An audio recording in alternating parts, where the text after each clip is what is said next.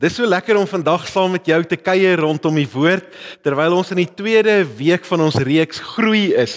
En ons gesels oor ons eerste tree saam met Jesus. Nou wat hierdie reeks so spesiaal maak, is dat daar is 'n wonderlike leesplan op YouVersion beskikbaar met video's wat jy elke dag kan kyk om hierdie pad wat ons stap saam te kan loop. So ek wil jou regtig waar uitnooi uh as jy nog nie YouVersion het nie, dis die maklikste ding om te kry. Jy gaan na jou selfoon toe, maak 'n maak Google Play oop en uh, dan kan jy net YouVersion soek en uh, wanneer jy hom gekry het, installeer jy hom op jou foon.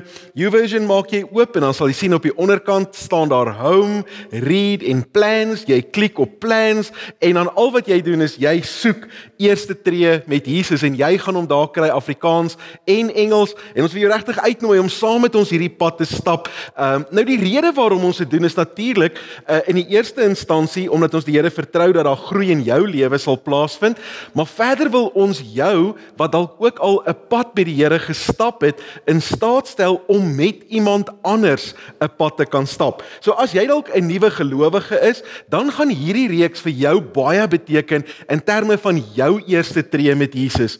Maar indien jy nou al iemand is wat al 'n tyd lank die Here dien en wat al begin groei het, dan moet jy hierdie sien as 'n stuk toerusting in jou lewe. Hierdie YouVersion plan kan jy vir 'n vriend of 'n familielid gee of 'n kollega en sê, "Kom ek stap saam met jou die pad. Kom ons kyk na hierdie waarhede in die skrif." En so kan jy iemand anders disipel en help om ook te groei in die Here. En dis regtig ons hart met hierdie reeks is om seker te maak dat wanneer ons praat oor disipelskap, dit nie net 'n woord is wat ons so nou en dan aanhaal in 'n preek nie, maar dat dit iets is wat elke gelowige, elke lid van hierdie liggaam, elke vernoot van Doxadeyo doen met ander mense, want dis presies wat Jesus vir ons gesê het om te doen. En ons het laasweek so 'n bietjie daaroor gesels in die afskop van die reeks, het ons gepraat oor disipelskap en hoe belangrik dit is en ons het dan ook die eerste 5 weke leesplan gehad waar ons gekyk het na hoe dit lyk om God en Jesus te ontmoet. Ons het gekyk na God se liefdesinisiatief um, in die stuur van sy seun en ons het ook gekyk na die verhouding wat uh, ons met hierdie liefdevolle Vader kan hê wanneer ons tot redding gekom het. Nou vandag gesels ons seker oor die lekkerste tema en wat so belangrik is in ons groei journey met die Here, naamlik die geskenk van genade.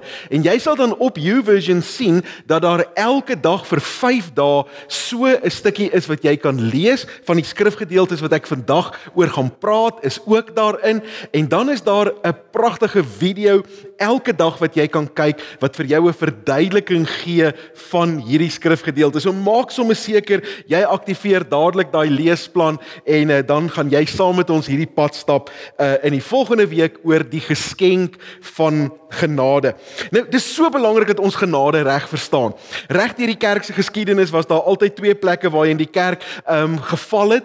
In die een kant kon die kerk val om te sê ons maak genade te min en uh, dan uh, veroorsaak dit dat uh, ons te wetties raak. Uh, ons begin meer staat maak op ons eie vermoë om God te probeer tevrede stel en ons weet dit kan nie gebeur nie uh, want Jesus het dit reeds kom doen of andersins het die kerk na die ander kant toe gegaan waar hy genade gelees het en dit heeltemal verkeerd verstaan het. Nie noodwendig te veel gemaak het van genade nie want genade is baie, maar uh, dalk die genade net op die verkeerde plek gesit het en dan genade as 'n lisensie vir sonde te gebruik om te sê ag maar God is genadig. Dis eintlik maar oukei, okay, ons hoef nie te worry nie, hy worry nie. En natuurlik is dit nie waar nie.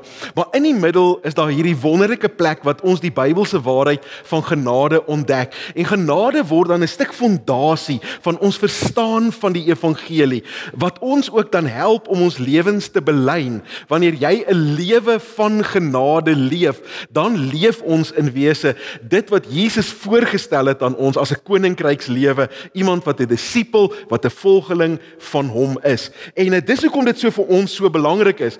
Nou een van die geskrifgedeeltes wat jy in jou leesprogram hierdie week sal sien, is dan 'n gedeelte in Efesiërs 2 vers 4 van vers 4 af. En ek gaan vandag so 'n bietjie eintlik van vers 1 af praat uh om ons net so lekker 'n uh, 'n prentjie te gee van presies wat Paulus in hierdie gedeelte bedoel. So ek wil graag vir jou lees Efesiërs 2 uh vanaf uh vers 4 dan.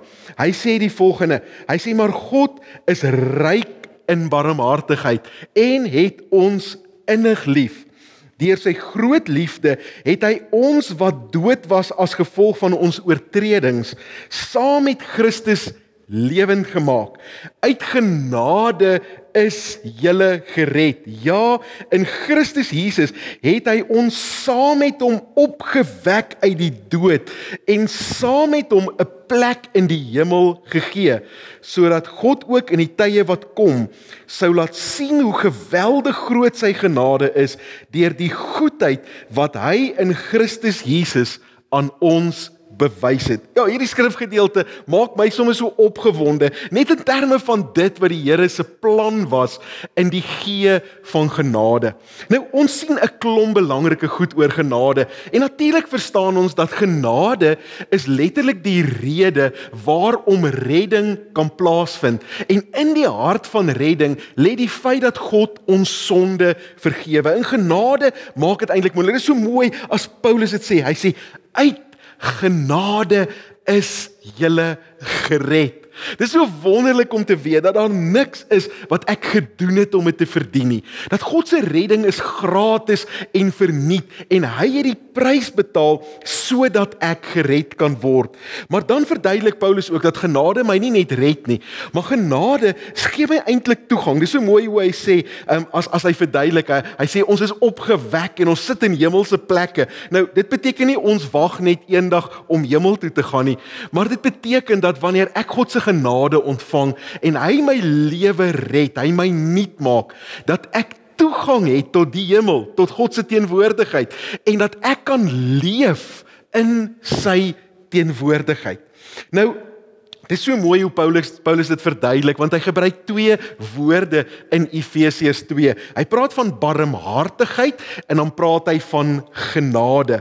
Nou barmhartigheid was dit wat God nog altyd gedoen het. Barmhartigheid beteken dat God na 'n mens kyk en sê jy verdien om te om gestraf te word, maar ek gaan jou nie straf nie. Dan is God barmhartigheid wanneer bar, barmhartig wanneer hy straf weerhou.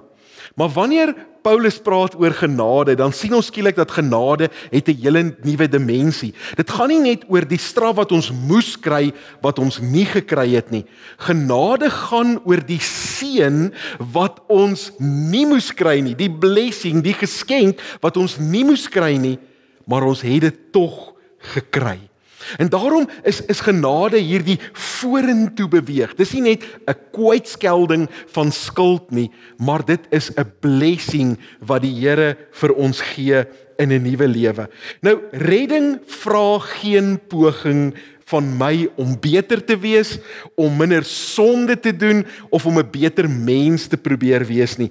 Genade is die meganisme waardeur God ons red wanneer ons aanvaar dat hy ons liefhet en dat hy die prys betaal het vir ons om 'n nuwe lewe te hê. En hierdie is die wonderlike geskenk van genade.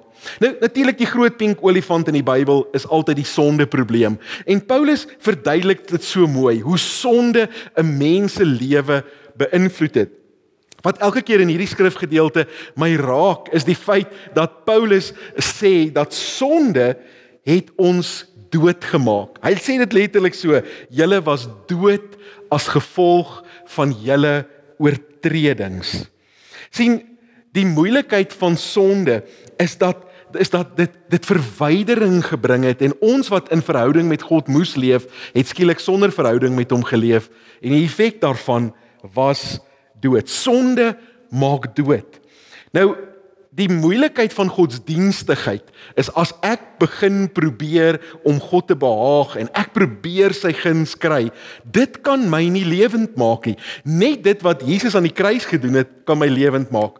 In respek is dit wanneer ek sou 'n lijk vat en uh, ek maak die lijk mooi en ek kremeer die lijk, is 'n dooie liggaam en ek trek die hierdie lijk mooi aan en ek ek stel hom voor as iemand wat lewend is. Jy gaan uitgevang word want daar is geen lewe meer in daai liggaam nie. En dis wat godsdiens doen. Dit kan ons mooi laat lyk. Dit kan gremering en mooi klere wees en ons kan lyk, ons kan presentable wees vir die Here. Maar daar's net een ding wat 'n mens lewend maak en dit is wanneer jy jou geloof in God se liefde sit en hy sy genade aan jou bewys deur dit wat jy nie verdien het nie vir jou te gee, naamlik 'n nuwe lewe in sy seun. sien, wanneer ons praat oor sonde, is die probleem nie net dat ons sonde doen nie. Die probleem is wat sonde met ons doen. Want sonde maak ons dood. En daarom skryf Paulus, hy sê in vers 1, as ons nou daai selfde gedeelte lees in Efesiërs 2 en ons begin net by vers 1, dan sê hy, hy sê julle was dood as gevolg van julle oortredings en sonde wat voorheen julle leefwyse gekenmerk het. Julle het gelewe soos hierdie sondige wêreld en julle laat lei deur die vors van onsigbare magte, die gees wat daar nou in hierdie wêreld in mense is wat hulle on, aan God ongehoorsaam maak. Vers 3 sê so het ons trouens ook almal voorheen gelewe. Ons is deur ons sondige begeertes oorheers en het gedoen net waartoe ons liste ons gelei het en ons in ons gedagtes opgekom het. Vanweë ons sondige natuur sou ons net soos die ander mense deur God gestraf moes word. Daar's twee goed wat ons moet verstaan in sonde. Die een is dat sonde beteken dat jy dit waarvoor God jou bedoel het mis. Dis letterlik die die die prentjie van iemand wat 'n boog skiet en dan die pyl wat wat trek en dan mis hy die teiken. En dis wat sonde is. Die woord sonde beteken om die teiken te mis. Maar daar's 'n tweede deel van sonde en dit is ook 'n woord wat ons baie keer in die Bybel optel, is dat sonde nie net verwys na ons wat ons teiken mis nie, maar dat sonde verwys na die feit dat ons ongehoorsaam was aan God, dat dat die mens rebelleer teen God. En daarom moet ons altyd besef dat sonde gaan nie net oor ons nie, maar sonde gaan ook oor oor God. Want in wese is alle sonde is iets wat teen God gedoen word. En God vat sonde nogal baie persoonlik in die Bybel omdat hy sonde haat en nie met sonde kan saamleef nie en ook omdat sonde die mens wat hy so liefhet dan beskadig en in wese vernietig. So Wanneer ons praat oor oor sonde, dan is dit is dit belangrik dat ons verstaan dat dat God sy genade gee, ehm um, nie beteken dat sonde nou nie meer 'n issue is nie. Want wanneer sy seun sterf, betaal hy die prys vir sonde. Maar dis nie asof God van die Ou Testament en God van die Nuwe Testament eintlik twee uh, twee verskillende karakters is en ons lees die Ou Testament en ons sien 'n God wat straf en oordeel en dan lees ons die Nuwe Testament en dan sien ons 'n God van liefde en dan dink ons wel God moes seker ergens in die middel tot bekering gekom het. Hy het nou verander. God het nooit verander nie. God se liefde en barmhartigheid was nog altyd dieselfde. Maar wanneer God die prys betaal in sy seun, dan maak hy dit moontlik dat ons genade kan ontvang. God haat sonde nog net soveel in die Ou as in die Ou Testament. Dit wat die Bybel sê oor sonde in die Ou Testament is nog steeds net so waar. Maar in die Nuwe Testament kom God as gevolg van die prys van sy seun en hy maak dit moontlik dat ons genade kan ontvang. Nou een van die wonderlikste goed van genade is dat ons in die Bybel lees dat genade is verniet. Jy hoef nie 'n teeprestasie te gee vir genade. Jy hoef nie eers goed te word en beter te word en begin om die Here te dien sodat jy genade kan kry nie. Jy kan in die toestand van jou grootste sonde en jou grootste elende kan jy vir God vra vir sy genade deur jou te red en jou geloof in Jesus te sit en dan sal hy jou red. So die vraag is, is genade dan verniet? En dan is dit verseker 'n groot ja. Ja, genade is verniet wanneer ons dit ontvang van God. Maar die tweede antwoord hierop is nee, genade is nie verniet nie.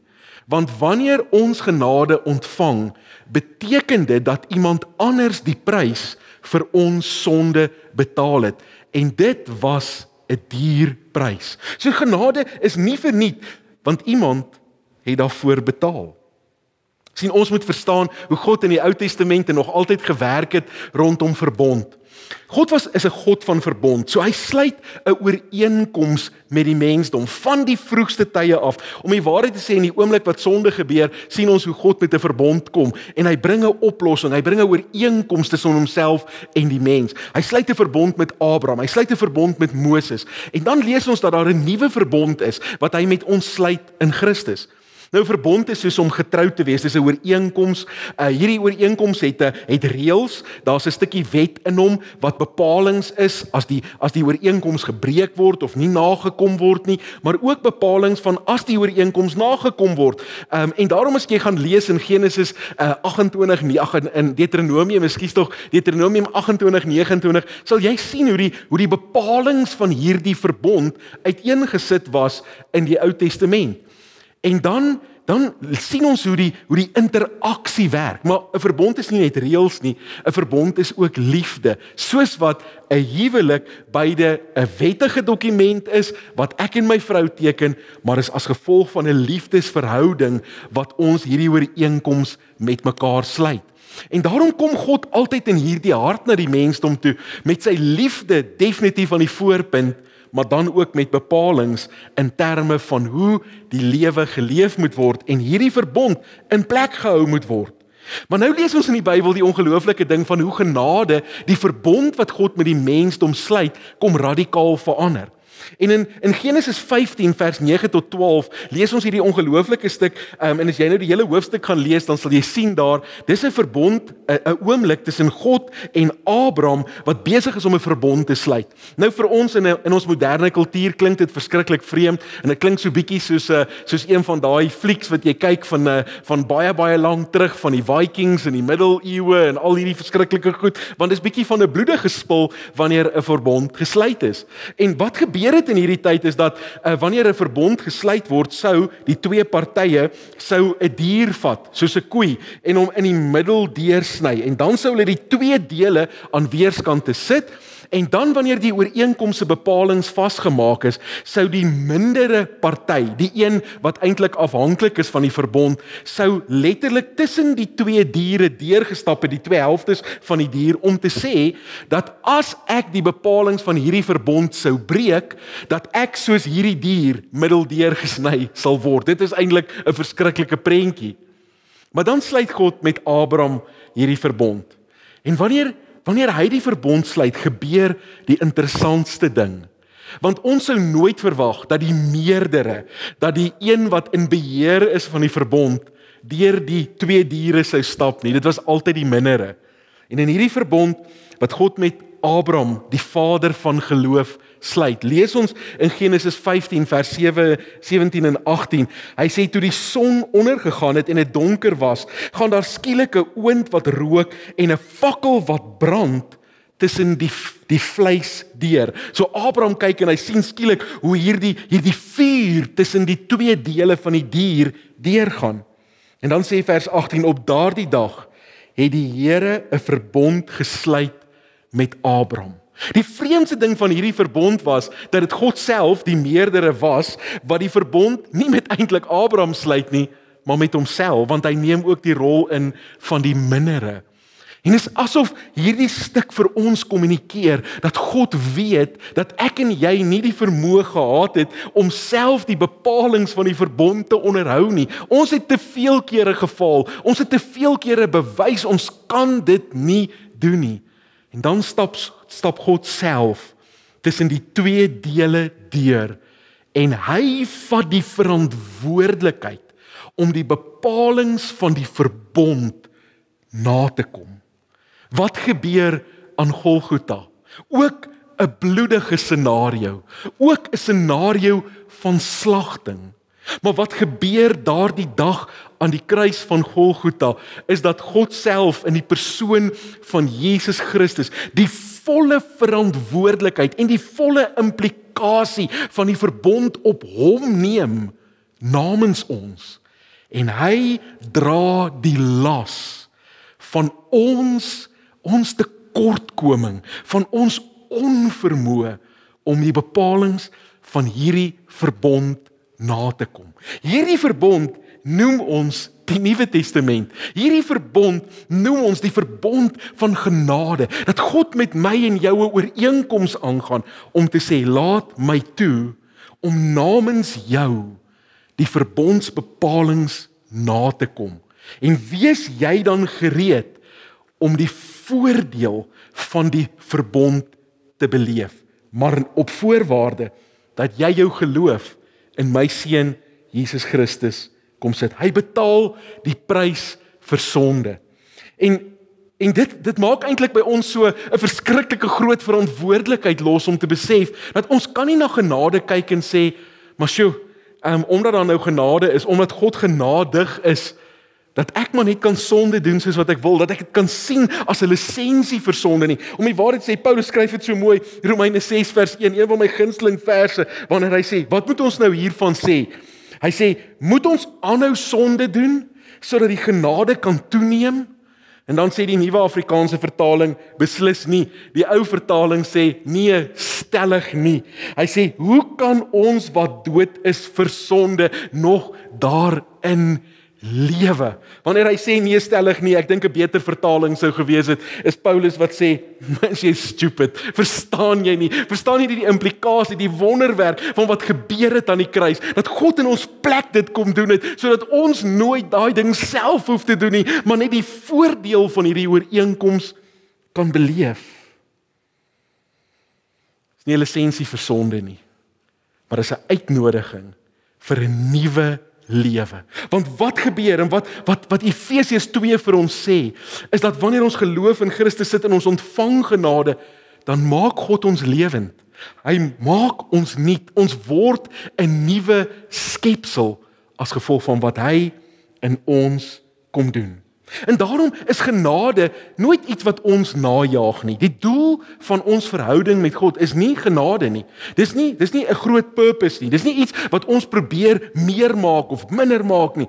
Genade is 'n voertuig wat ons vat na verhouding met God. Want dis die wen. Die resultaat van genade is dat ek en jy in verhouding met God kan lewe. Die resultaat van genade is die feit dat daardie verhouding wat gebreek is in Genesis hoofstuk 3 herstel word. Daardie genade genade kom en en en die breek wat gekom het toe God ons gemaak het in Genesis 1 en hy oor die mens gebuk het en hy lewensasem in die mens ingeblaas het en toe sonde kom hierdie verhouding verskeur is. Genade kom om daardie verhouding te herstel sodat ek weer in die asem van God se teenwoordigheid kan leef. Dat ek my lewe uit hom kan haal want sonder hom is ek dood. En dis die geskenk. Die geskenk van genade is die ondenkbare voorreg om toegang tot God te kry en te leef in 'n verhouding met hom, 'n verhouding van dankbaarheid waar ons nie meer nie sonde doen omdat ons probeer om God se aandag en sy guns te kry nie, maar waar ons weet ons het sy guns en omdat ons nou sy guns het, voer ons oorlog teen die sonde want ons doen dit nou uit dankbaarheid en nie uit verwagting vir aanvaarding nie. Paulus sluit hierdie gedeelte in in 'n eh, in Efesiërs 2 af met so 'n pragtige skrifgedeelte van vers 8 af. As hy die volgende sê, hy sê: "Julle is inderdaad uit genade gered deur geloof." Hierdie twee goed wat bymekaar kom. Ek wat my geloof in Jesus sit en dan God se genade wat my red. Hy sê hierdie redding kom nie uit jouself nie. Dit is 'n gawe, 'n geskenk van God. Dit kom nie deur julle eie verdienste nie en daarom kan niemand enige rede hê om op homself trots te wees nie. Nee, God het ons gemaak wat ons nou is. In Christus het hy ons geskep. Hoor hierdie ding, dis 'n tweede skepping. Hy het ons geskep om ons lewe te te wy aan die goeie dade waarvoor hy ons bestem het. En ons sien hoe genade hierdie twee elemente van sonde aanspreek. Aan die een kant die verhouding, ons kan nou in verhouding met God staan. En omdat ons in verhouding met hom staan, kan ons weer ons doel in die lewe tref. Ons kan die pyl kan ons afskiet en ons lewens tref die teiken. Dit waarvoor God ons bestem het, die goeie dade, die uitdrukking van wie God is. Ons kan dit nou doen. Genade is soveel meer as God wat net sê ek gaan jou nie straf nie. Genade is God wat ons in staat stel om 'n verhouding met hom te leef en omdat ons 'n verhouding met hom leef, kan ons dit wat Adam nie kon doen nie, kan ons regkry omdat ons in God se teenwoordigheid leef en ons deur sy Heilige Gees in staat gestel word om 'n lewe van oorwinning te leef. Genade stel ons op vir 'n lewe van oorwinning. Genade stel ons op vir 'n lewe van impak. Genade stel ons op vir dit wat God bedoel het die mens se lewe moes wees. En daarom is genade die grootste geskenk. En ek hoop in hierdie week gaan jy registreer vir daai Bybelprogram, daai leesprogram. Ek hoop jy gaan elke dag daai video kyk. Ek hoop jy gaan elke dag daai skrifgedeelte verteer in jou lewe om die Here dankie te sê vir sy genade wat so groot oor ons lewens is. Kom ons bid saam. Here baie dankie vir u genade. Dankie dat genade ons red. Dankie dat genade maak dat ons vergewe kan word. Dankie dat genade ons toegang gee tot verhouding met u, toegang gee tot die allerheiligste troonkamer van God. Dankie dat genade ons in staat stel om sonde te oorwin. Dankie dat genade ons in staat stel om die doel van ons lewe, die teiken te tref. Dankie dat genade ons in staat stel om nie net vir onsself te leef nie, maar Here, dat dit wat vir U belangrik is, die eerste prioriteit in ons lewe is. Ons loof U daarvoor in Jesus naam.